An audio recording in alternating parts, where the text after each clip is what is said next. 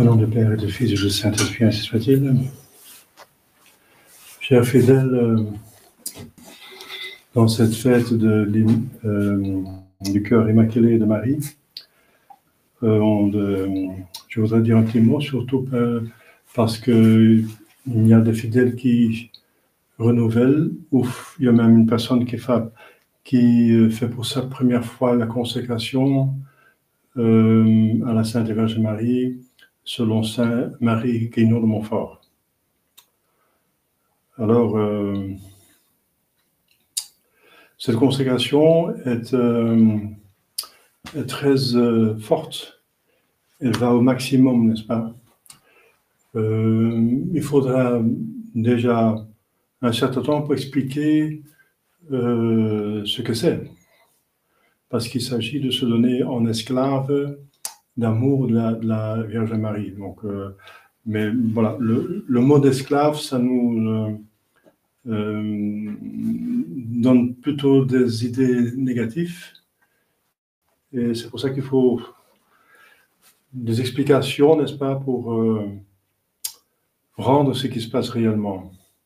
Pour commencer, nous sommes consacrés à la Sainte Vierge Marie dès le baptême. Euh, au maximum. Parce que par le baptême, n'est-ce pas, nous sommes consacrés. Le baptême est une consacration euh, qui donne une marque indélébile. Et euh, la, une consécration, c'est une destination de, dans ce cas-ci d'une personne. Ça peut être aussi un objet comme un calice, etc. Donc, d'une église, mais c'est d'une personne, destination euh, en tirant de l'usage profane, donc de la vie profane. Donc l'homme qui n'est pas baptisé vit une vie naturelle, disons. Selon sa nature humaine, euh, même s'il fait du bien et du mal, qu'il peut bien user de ses facultés ou abuser, c'est au niveau naturel. Par le baptême, euh, on, reçoit un, niveau surnaturel.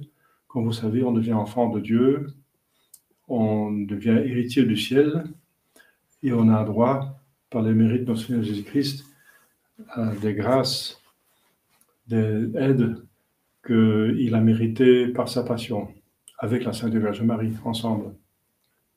La Sainte Vierge Marie par lui. Et euh, alors on est, donc on est tiré de l'usage profane pour vivre une vie surnaturelle. Et les gens ne se rendent pas assez compte de cela, n'est-ce pas, que le baptême déjà, euh, par le baptême, ils sont consacrés à Dieu, ils sont destinés pour le ciel. Et une consécration, c'est donc euh, tirer quelqu'un donc de l'usage de la vie profane et de destiner pour Dieu, pour le culte à Dieu. Ça, c'est le deuxième élément. Tiré du profane, destiné à Dieu, le culte de Dieu. Et troisième élément, c'est définitif. Une consécration est définitive. C'est pour ça que, je répète, elle nous donne un marque indélébile dans l'âme. Et les gens ne se rendent pas compte de cela, n'est-ce pas? De, Si seulement ils vivaient leur baptême, leur, euh, leur promesse du baptême et leur baptême correctement, ils seraient saints. Sa sainteté, justement, c'est qu'on on est tiré du profane, parce que le péché, c'est justement, c'est, enfin, c'est injustement, mais je veux dire, justement, exactement, je veux dire, c'est exactement un abus des choses, des, créatures, un abus des créatures, donc dans l'usage des choses euh, qu'on a reçues euh, à notre disposition pour aller au ciel, on va en abuser. Donc chaque péché est un abus. Et c'est justement, voilà, euh, enfin, je veux dire, c'est exactement ce qu'il ne faut pas faire. Et parce qu'on est tiré de l'usage profane pour uniquement vivre selon et pour le culte de Dieu. Le culte de Dieu euh, qui se fait euh, par vivre la religion correctement. Et c'est pour ça que Jésus dit euh, aimez Dieu avec toute votre, toute, toute force, toutes vos forces, avec toute votre âme, tout, tout.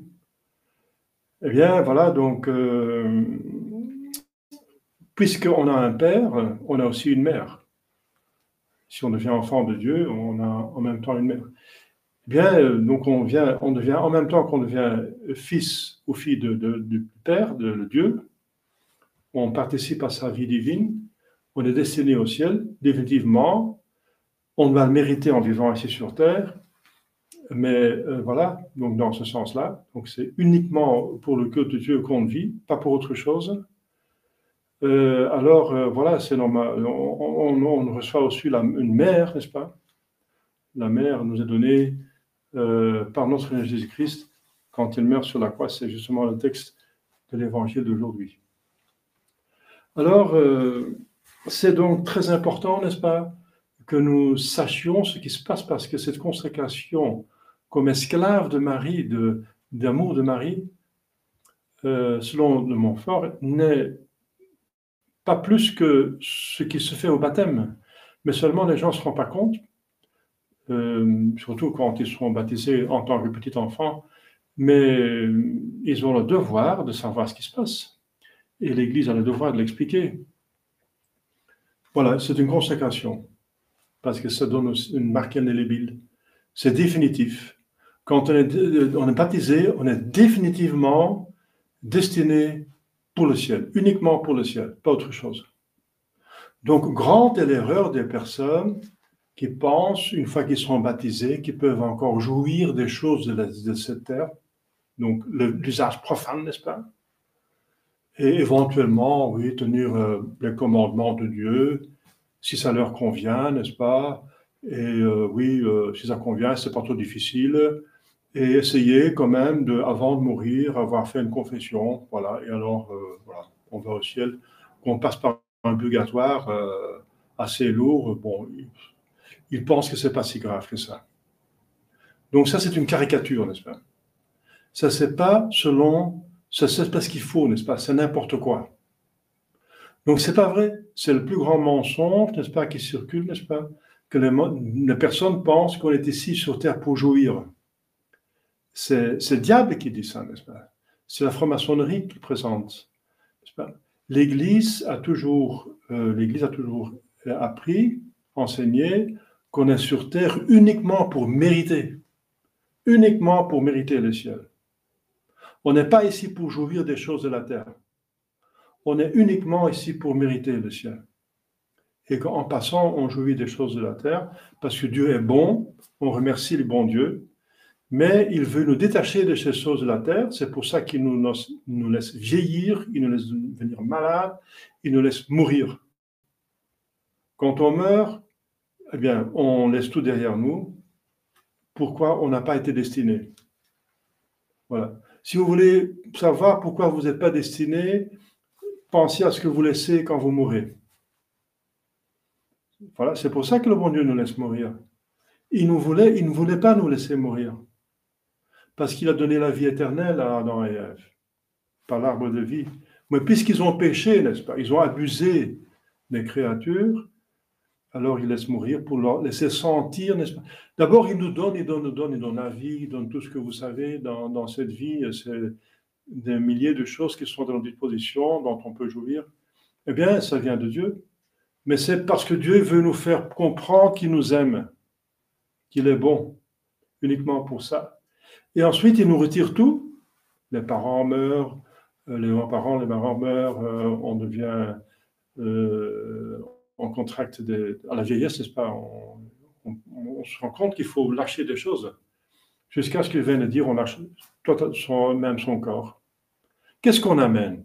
Eh bien, son âme, avec qui est intelligence, mémoire et volonté, et ce qu'on a fait sur terre, donc ce qu'on a mérité.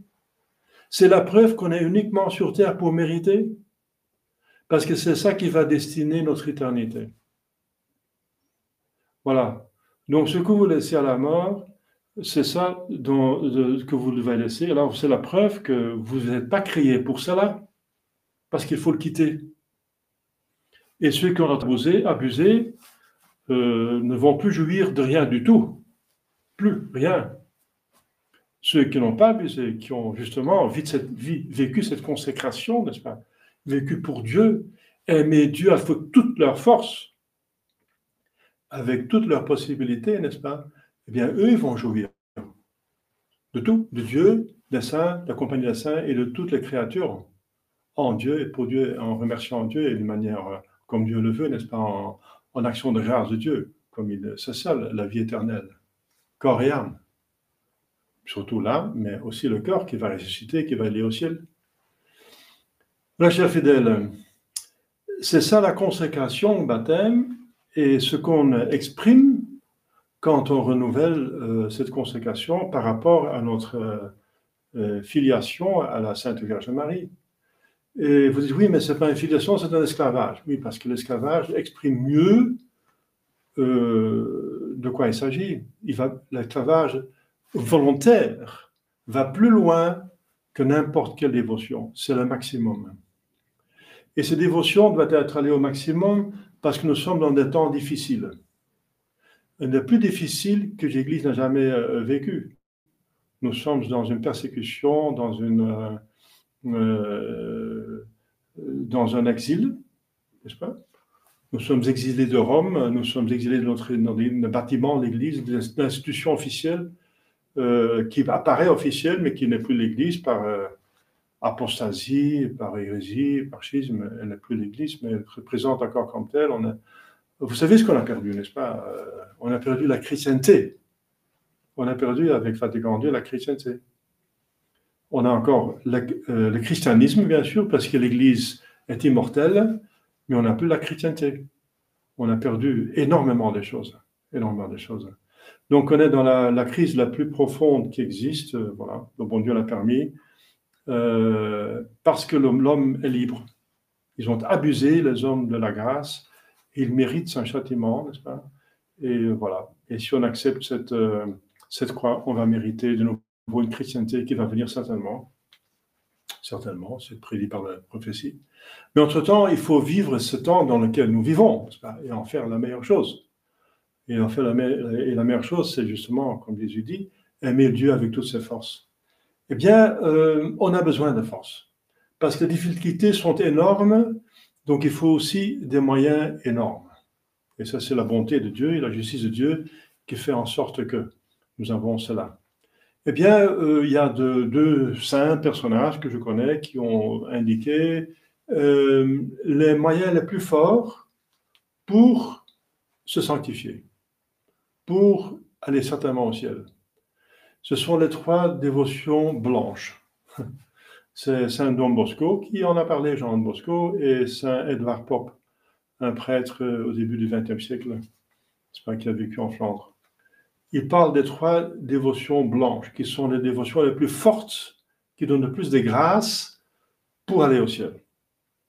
C'est la dévotion à l'hostie blanche, à la euh, Dame blanche, la Sainte Vierge Marie, aussi blanche, c'est la messe et la communion, en ayant avec la, confession, ça va ensemble. Et ensuite, l'homme blanc, ça veut dire le pape, ça veut dire l'enseignement infaillible de l'Église. Et ce sont les trois dévotions les plus, euh, les plus fortes, n'est-ce pas? Je commence par l'homme blanc, ça veut dire, euh, c'est le pape qui symbolise l'enseignement euh, infaillible, l'enseignement certain de l'Église, donc pas des choses douteuses, pas des opinions, pas des apparitions douteuses, mais ce qui est certain. Et c'est le catéchisme. C'est le catéchisme et déclaration, de, explication des catéchismes. Donc on est, qu'on approfondit toujours la doctrine. C'est dans le catéchisme même qu'on pose la question est-ce qu'il suffit euh, d'avoir connu le catéchisme une fois? Non, il ne suffit pas. Toute sa vie, il faut essayer d'approfondir et d'avoir un niveau qui correspond à son, euh, aux besoins. Euh, si on est, ça dépend de votre, des circonstances de votre vie et les circonstances du temps. Maintenant, justement, la foi est attaquée de, de toutes parts. Il y a beaucoup d'hérésies, du schisme et de, bêtises qui circulent, même parmi les soi-disant tradis. Donc il faut très bien connaître le catéchisme, mieux qu'avant. Donc il faut étudier chaque jour euh, un parti de catéchisme, une explication de catéchisme ou euh, un livre euh, qui explique la doctrine des catholiques, la révélation de Dieu. Voilà.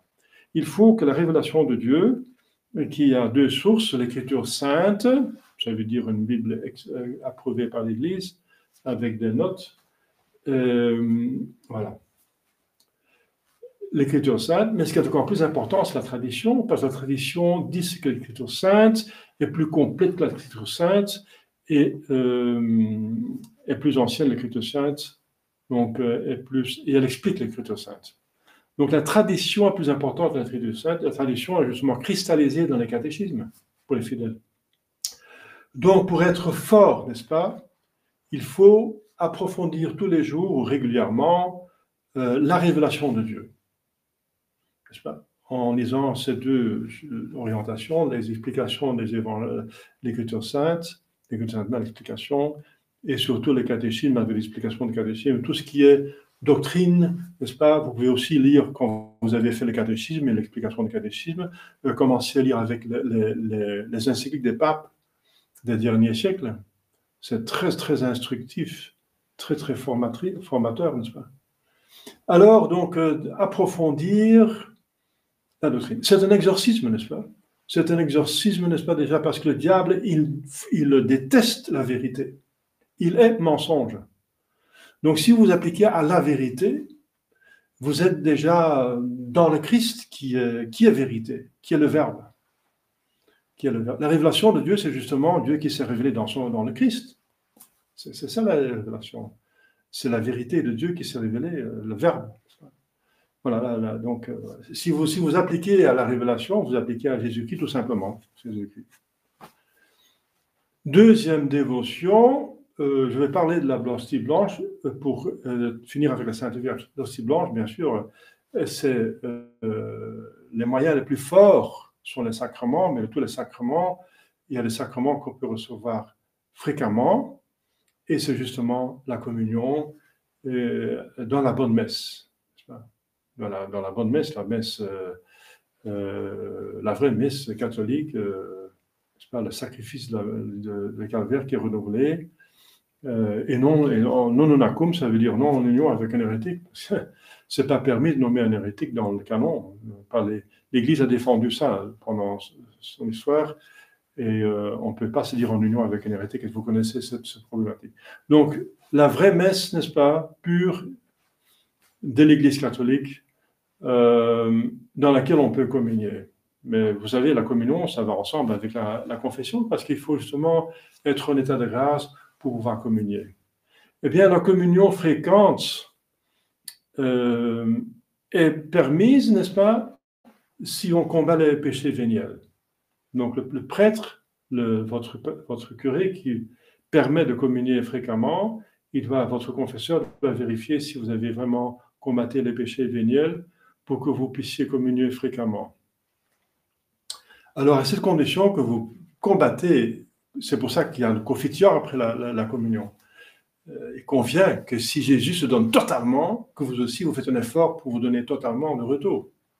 Et c'est le minimum, c'est de combattre les péchés véniels. Euh, parce qu'un péché véniel, c'est quand même offenser Dieu, n'est-ce pas euh, C'est diminuer justement la, charité au lieu de l'augmenter. Donc c'est combattre euh, le péché véniel. Et à ces conditions, vous pouvez euh, communier fréquemment. Et c'est très très fort, c'est le moyen le plus fort, n'est-ce pas, pour recevoir des grâces, pour être justement, c'est une nourriture de l'âme, c'est Dieu qui se donne la nourriture. C'est-à-dire notre Seigneur Jésus-Christ, qui augmente notre vie surnaturelle, n'est-ce pas L'état de grâce et l'amitié avec Dieu est renforcé, donc l'union à Dieu est renforcée, la foi, l'espérance, la charité sont renforcées et aussi euh, les dons et les vertus infus euh, sont, sont euh, augmentés. Les sept vertus infuses et les sept dons du Saint-Esprit infus, n'est-ce pas, sont renforcés, sont augmentés à chaque fois. Alors, c'est très très fort. C'est très très fort. Et la communion quotidienne, quand vous la vivez comme ça, n'est-ce pas, ça vous donne une force effroyable. Donc, vous avez votre catéchisme que vous lisez, c'est la vérité dans votre intelligence. La, la, communion vient dans tout votre âme, dans votre cœur. C'est un cœur à cœur, n'est-ce pas? C'est dans votre cœur, c'est voilà, c'est dans tout votre âme. C'est juste, c'est une union, n'est-ce pas, au maximum. Comme la union entre la nourriture et le corps est maximum. La nourriture devient le corps. Eh bien, c'est cette union que Jésus-Christ veut, que nous devenons avec Dieu, n'est-ce pas, tout en restant des créatures, mais quand même une union la plus euh, poussée possible. Parce que l'union exprime l'amour. L'amour veut l'union. Dieu veut, Dieu être parmi nous, en nous, n'est-ce pas? Voilà. Alors la troisième dévotion la plus forte, n'est-ce pas, qu'on a absolument besoin ce temps-ci, et la Sainte Vierge a, a insisté, n'est-ce pas, dans ce temps, n'est-ce pas, d'apostasie, difficulté. Elle est apparue beaucoup de fois, n'est-ce pas, pour se donner elle-même comme, solution. La preuve, c'est que quand elle apparaît les derniers temps, elle n'a plus le plan Jésus-Christ avec, elle. Avant, elle portait les enfants Jésus-Christ, elle montait Jésus-Christ quand elle apparaissait dans le Moyen Âge. Mais le dernier temps, plus. À Salette, elle n'avait pas Jésus avec elle. Euh, à Lourdes, elle n'avait pas Jésus-Christ avec elle. À Fatima, elle n'avait pas Jésus-Christ avec elle, etc. À Borin, à Bonneux, non, elle n'avait pas Jésus-Christ avec elle. Pourquoi? Parce qu'on n'est pas encore digne d'avoir Jésus-Christ, n'est-ce pas? Elle prépare le terrain, elle nous prépare pour recevoir dignement notre Seigneur Jésus-Christ. Parce que ce temps-ci est tellement pécamineux, n'est-ce pas? Tellement éloigné de ce qui est catholique que, voilà, euh, il faut euh, des conditions pour se rendre digne de recevoir de Jésus-Christ. Donc il faut aller par Marie à Jésus pour aller plus parfaitement à Jésus, pour ne pas l'enfoncer. Parce que combien de fois Jésus n'est pas offensé, n'est-ce pas, par les communions euh, je ne parle pas des communions qui sont absolument invalides dans le Novus Ordo, n'est-ce pas, par des prêtres qui n'ont plus la sacerdoce valide, la messe qui est invalide. Mais même dans la messe valide, n'est-ce pas, euh, il y a des gens qui. La fraternité Saint-Bétis, par exemple, est officiellement, totalement dans le schisme. Accepter un antipape comme pape, c'est le schisme. Et un schismatique est en dehors de l'Église, est en état de péché mortel. Ils vont à la communion comme si ça n'était rien. Et combien de, toutes les messes dans la secte orientale, n'est-ce pas, qui sont des centaines de millions de personnes, sont valides et sont officiellement aussi dans le schisme et dans l'hérésie. Ils communient validement. Comment est-ce que Jésus-Christ n'est pas offensé, n'est-ce pas, par sa communion? Je ne vais pas entrer dans. Je ne peux pas juger subjectivement. Bien sûr, il y a des personnes qui subjectivement peuvent être, en état de grâce, mais objectivement, ils sont en état de péché mortel. C'est un schisme, c'est l'hérésie. Voilà. Donc il faut une préparation, et la Sainte Vierge se donne comme préparation euh, parfaite pour recevoir Jésus-Christ. C'est en même temps la, préparation parfaite, parce qu'on peut, peut aller à Jésus-Christ en se préparant comme on pense. Comme on pense, nous, on va se préparer à avoir Jésus-Christ, on va ceci et cela, se mettre en ordre, faire un examen de conscience, faire bien, bien se confesser, etc. Mais c'est jamais si parfait que si on fait avec Marie. Parce que la voie mariale est la plus courte, la plus facile et la plus parfaite pour s'unir à Jésus-Christ et à Dieu. Ce n'est pas un détour, au contraire, c'est la voie la plus, la plus vite. Pour trouver, ma, pour trouver Jésus-Christ, il faut chercher Marie. Hein les, bergers à Noël, ils ont cherché euh, la mère pour trouver l'enfant Jésus. Hein. Donc c'était Marie. Et quand avant, neuf mois, Jésus était en Marie, donc il fallait aller. Euh, Élisabeth a trouvé le Sauveur quand elle s'est rapprochée à Marie, quand elle, elle, est venue la visiter. Donc Marie, faut pas se tromper, n'est-ce pas? C'est pas un détour, euh, oui, physiquement, c'est un détour, on pense. Parce que là, il y a la statue du Sacré-Cœur, la, statue de la Sainte Vierge. Donc, on va à la Sainte Vierge, donc on s'éloigne de la statue de Jésus-Christ. mais c'est matériellement parlant. Mais Dieu est esprit. Et dans l'esprit, c'est tout à fait le contraire. Si on va à la statue de la Sainte Vierge, on s'approche plus de Jésus que si on va sans la Sainte Vierge vers la statue du Sacré-Cœur, façon de parler. Vous comprenez?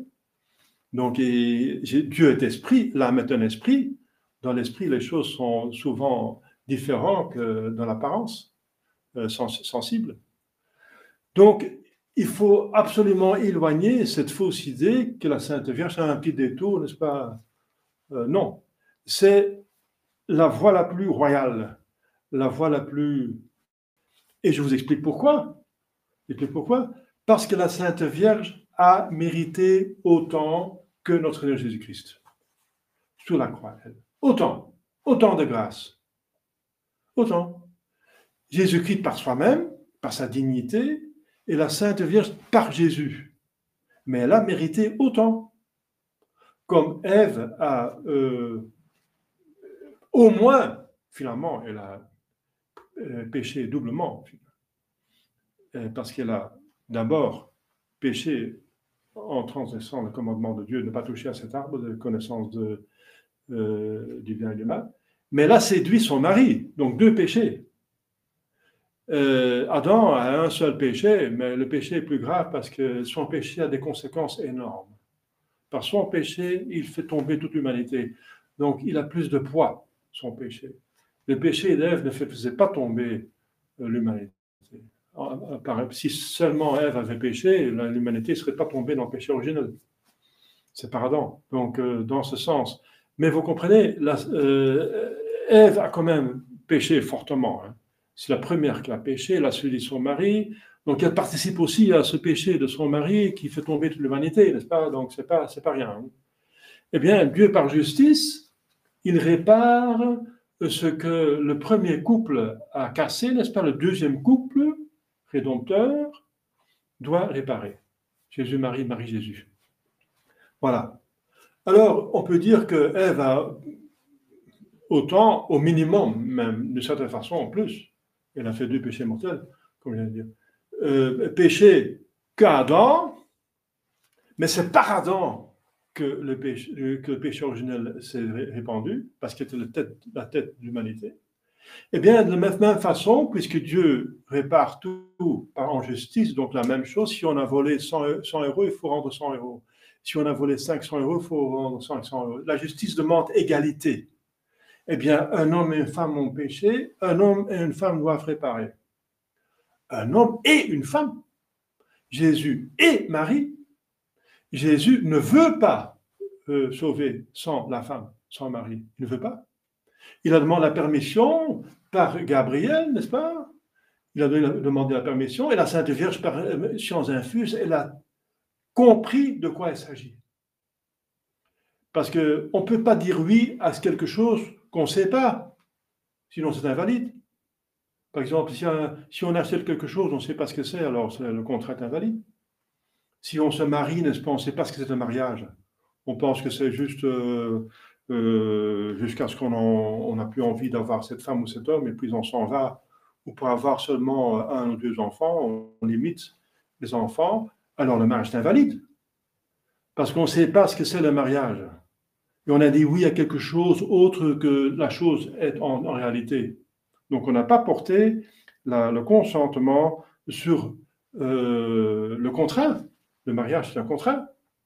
C'est deux, volontés qui se mettent ensemble et qui deviennent un sacrement par euh, institution de Jésus-Christ. Donc, c'est un exemple. La Sainte Vierge qui devait dire oui devrait donc savoir de quoi il s'agit. Il s'agit de devenir mère de Dieu, fait homme en elle et par elle, par son corps, n'est-ce pas?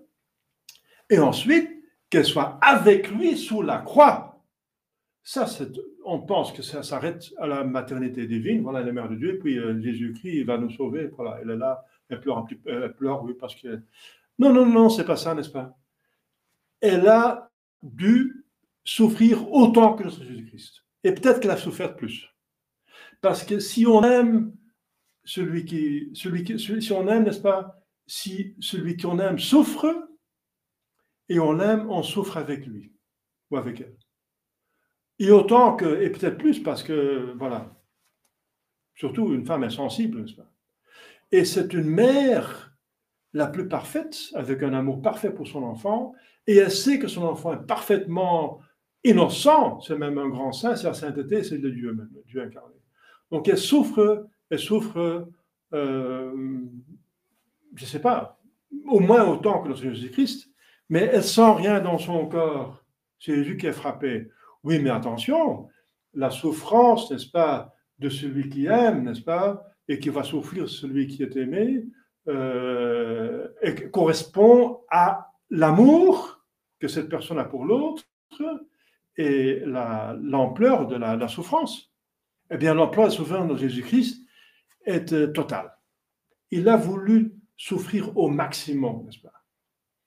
Enfin, je ne vais pas faire un exposé de la passion de Jésus-Christ, c'est pour la Semaine Sainte, mais c'est euh, étudier le Saint-Suaire, vous allez voir ce qu'il a souffert dans son corps. Alors, pour ne pas parler de son âme et dans sa vie sociale, on a tout dans sa vie sociale, euh, il, a perdu, il était par ses propres prêtres, n'est-ce pas, livré, hein.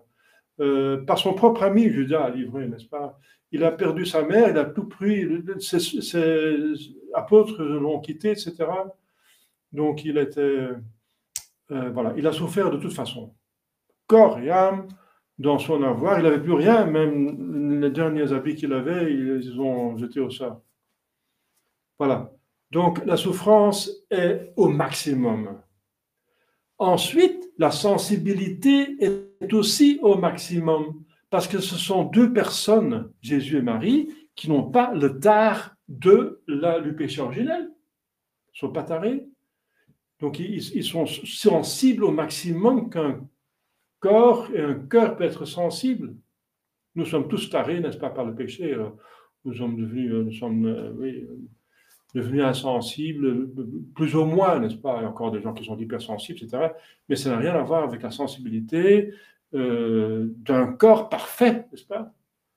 Et de la Sainte Vierge Marie. Donc Jésus-Christ a beaucoup plus souffert que quelqu'un d'autre peut, peut souffrir, et il a tenu plus longtemps qu'un autre, parce qu'il était en, meilleure santé. Parce que, justement, parce que les deux personnes n'avaient pas le péché originel, ils n'avaient pas de germes de, faiblesse et de, de maladie. La Sainte Vierge aussi, elle a tenu. Elle n'a pas reçu un infarctus, elle n'est pas tombée dans les pommes. Elle était stabat mater, stabat mater dolorosa, juxta crucem lacrimosa.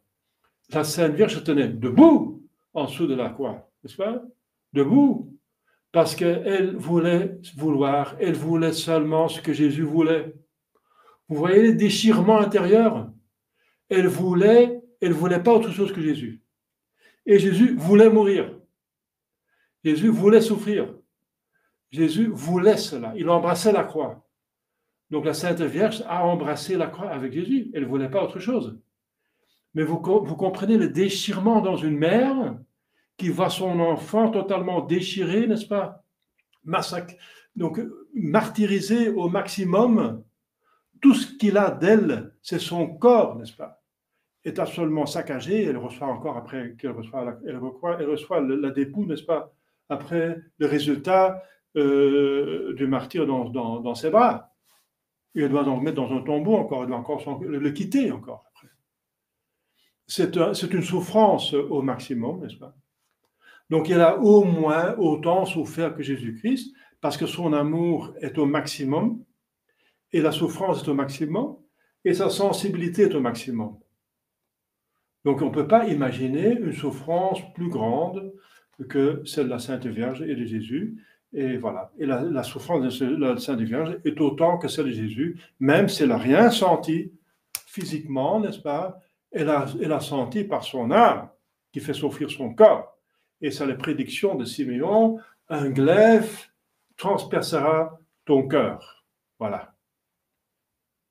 Alors, euh, chers fidèles, euh, la Sainte Vierge devait donc être là. Et là, je reviens à ce qu'au début, ce que j'ai dit, parce qu'on peut donner une retraite sur la Sainte Vierge et ça ne va pas suffire.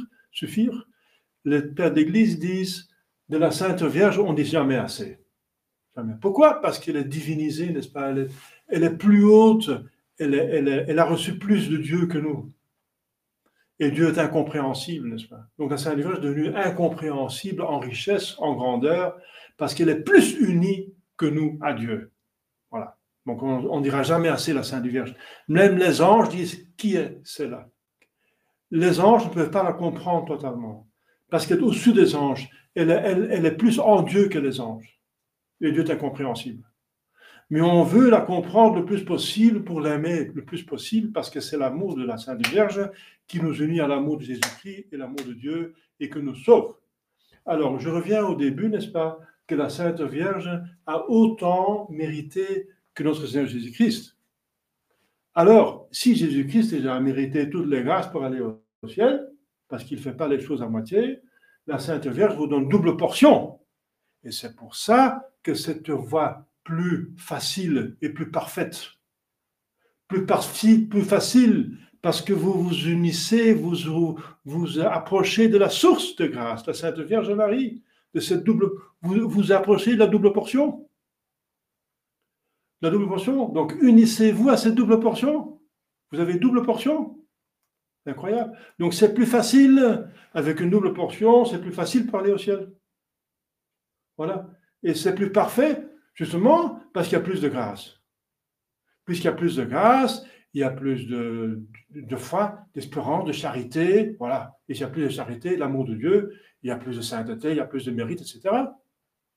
Donc c'est la voie la plus parfaite, la plus facile et la plus droite. La Sainte Vierge Marie et de Montfort, le saint de Montfort, il va, il va pas inventer, il va rien inventer.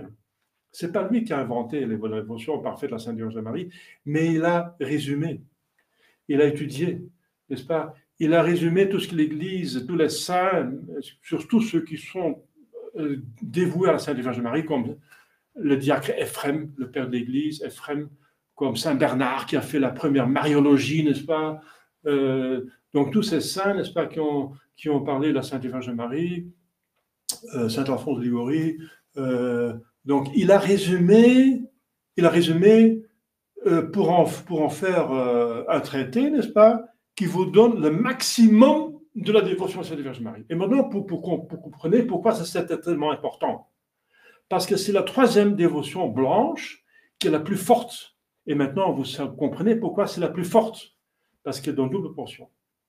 Et c'est encore un cœur de mère tendre, en plus, qui a en plus disposition d'une toute puissance. Et la disposition de toute puissance, parce que tout ce qu'elle demande, Dieu ne la refuse pas.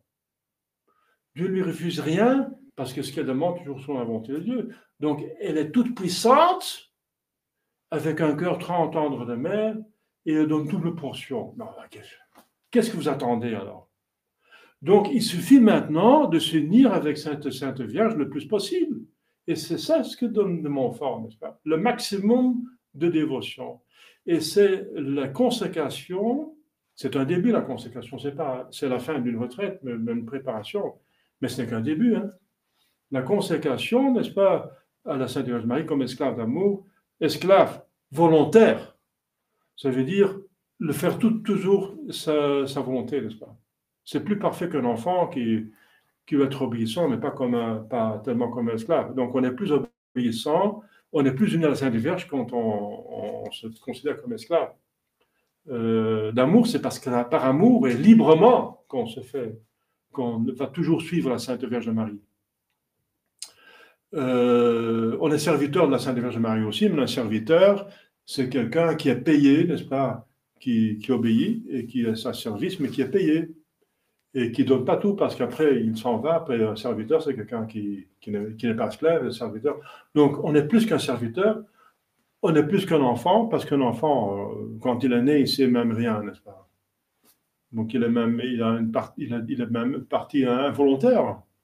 Il a peu de mérite chez un enfant. enfant. Bien sûr, on est enfant de Marie, mais l'esclavage par amour va beaucoup plus loin dans la dévotion et on veut s'unir à la Sainte Vierge Marie le plus possible. Hein. Et de Montfort, il explique ça, et j'ai dit ça, j'ai expliqué ça dans mon, sermon, tout faire avec, en, par et pour Marie. Mais pour expliquer ça, il faut encore un quart d'heure de plus ou une demi-heure de plus. Je vais m'arrêter parce que ça dure déjà longtemps. Mais vous comprenez l'importance de la chose. Donc cette consécration, selon de Montfort, ce n'est qu'un début alors vivre chaque jour, n'est-ce pas, avec Marie, en Marie, pour Marie et par Marie, euh, pour vivre mieux avec, en, pour et par Jésus, et aller à Dieu, s'unir à Dieu plus parfaitement. Voilà les trois dévotions blanches, n'est-ce pas euh, Et vous comprenez que la Sainte Vierge Marie, c'est l'entrée. C'est par la Sainte Vierge Marie que vous allez mieux communier et mieux confesser. C'est pas la Sainte Vierge Marie que vous allez être plus motivé pour apprendre, lire votre catéchisme et, de, le comprendre mieux, etc. Et de le vivre. Donc la Sainte Vierge Marie, c'est finalement, c'est pour ça qu'elle apparaît au 19e, 20e siècle, pour nous inviter, pour la suivre. Et elle demande la consécration, n'est-ce pas?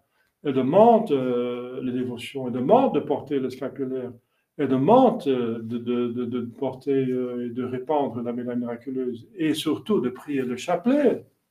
Cette prière sublime parce qu'elle se trouve dans l'Écriture sainte et qui est si puissante et si simple que même un enfant peut la prier. Quelle bonne mère. Voilà, encore un exemple. Une prière simple et en même temps sublime et facile. Voilà. C'est ça la Sainte Vierge Marie, la voie la plus parfaite, la plus facile est la plus certaine pour aller au ciel.